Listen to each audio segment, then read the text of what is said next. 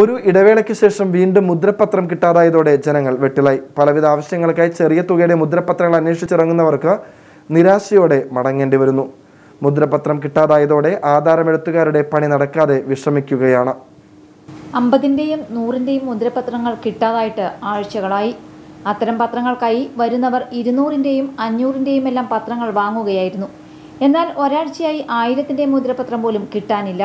തിങ്കളാഴ്ചയോടെ ആയിരത്തിന് മുകളിലുള്ള പത്രങ്ങളും തീർന്നു.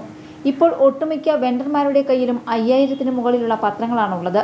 ഇതിനു മുൻപും മുദ്രപത്രക്ഷാമം ഉണ്ടായിട്ടുണ്ട്. അതിന് പരിഹാരമായി സർക്കാർ തുടങ്ങിയ ഇ സ്റ്റാമ്പിംഗ് സംവിധാനം സർക്കാർ നിർത്തിയതും തിരിച്ചടിയായി. മുദ്രപത്രം കിട്ടാതായതോടെ ആധാരമെഴുത്തുകാരും പണി നടക്കാതെ വിഷമിക്കുകയാണ്. ഓഫീസിൽ വരുന്നവരെ മടക്കി അയക്കേണ്ടി വരുന്നത് തങ്ങളുടെ വരുമാനത്തെയും ബാധിക്കുന്നതായി ആധാരമെഴുത്തുകാർ പറയുന്നു. സെറ്റിൽമെന്റ് ആധാരം ദാനാധാരം ഭാഗാധാരം തുടങ്ങിയവയ്ക്കെല്ലാം ആയിരത്തിന്റെയും അഞ്ഞൂറിന്റെയും എല്ലാം പത്രങ്ങൾ വേണം. വാടകച്ചീട്ട് പണയ ഉടമ്പടി ജനന മരണം വിവാഹം തുടങ്ങിയവ എഴുതാൻ കുറഞ്ഞ തുകയുടെ മുദ്രപത്രങ്ങളാണ് വേണ്ടത്. എന്നാൽ അത് കിട്ടാനേയില്ല. കൂടിയ തുകയുടേത് വാങ്ങി കാര്യം നടത്താമെന്ന് വെച്ചാലും നടക്കാതായതോടെ പ്രതിസന്ധി രൂക്ഷമായിരിക്കുകയാണ്. News bureau Kochi. കേരളത്തിന്റെ സ്പന്ദനം. ഏതാ?